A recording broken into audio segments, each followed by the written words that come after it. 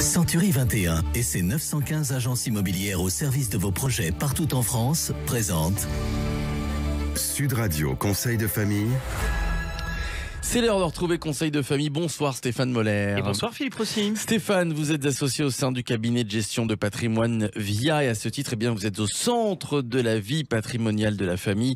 Ce soir, tiens, Robert et Patricia qui nous précisent être mariés sous le régime de la communauté réduite aux acquets et qui souhaitent souscrire une assurance vie.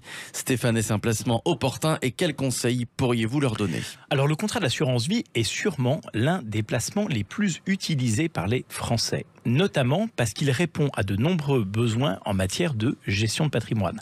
Le contrat d'assurance vie permet aux souscripteurs d'épargner soit à l'aide d'un versement unique, soit à l'aide de versements programmés, tout en organisant sa transmission et son patrimoine au jour de son décès. Y a-t-il des particularités lors de la souscription à un contrat d'assurance vie pour les couples qui sont mariés sur le régime de la communauté réduite aux acquets Alors comme nous l'avons vu dans une chronique précédente, le régime légal de la communauté réduite aux acquets répartit le patrimoine du couple en trois enveloppes. Une première enveloppe avec des biens communs qui ont tous été acquis pendant la durée du mariage, et puis deux enveloppes privatives avec des biens propres, soit acquis avant le mariage, soit des biens qui proviennent d'un héritage. Donc, au moment de la liquidation du mariage, que ce soit par décès ou alors par divorce, tous les biens communs sont répartis à 50-50. Oui, et, mais tout va dépendre donc de l'origine des sommes d'argent qui ont été placées dans le contrat. C'est-à-dire Eh bien, il convient donc de savoir si les fonds appartenaient à la communauté, s'ils ont, ont, été acquis pendant la durée du mariage ou s'ils constituent un réemploi, c'est comme ça qu'on dit, de fonds propres, c'est-à-dire de fonds qui sont personnels aux souscripteurs. On distingue donc plusieurs cas. Dans le premier cas, l'un des deux époux souscrit seul au contrat d'assurance vie pendant la période du mariage avec des capitaux appartenant à la communauté.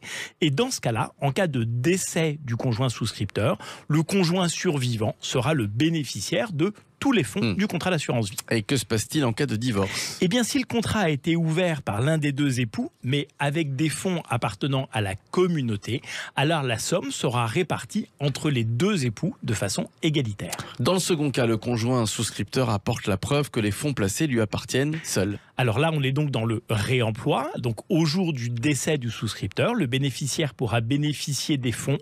Attention toutefois à ne pas léser les autres ayants droit, notamment les enfants du souscripteur qui seraient nés d'un premier lit.